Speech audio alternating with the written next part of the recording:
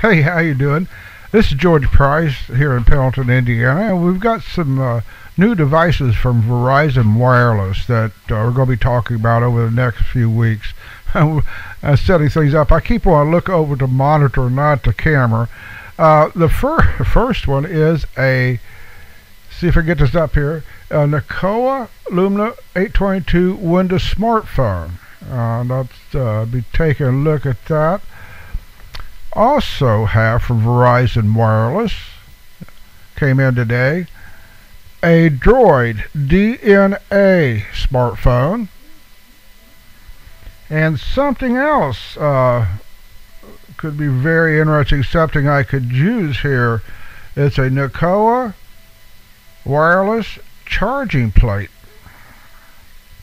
I'd be very interested taking a look at that. I'll be getting these things uh, unpackaged and set up and looking at them. If you've got any of these devices, if you use them, let me know what you think about them down below in the comments or if there's something you want to know about them, have a question about them, uh, let me know. Just drop a again, drop a comment down below, and we'll do our very best to uh, check those things out for you. So we hope you have a great evening, and we'll get started on these here very soon, and we'll be back with you uh, from Pendleton, Indiana for the Pendleton Gazette.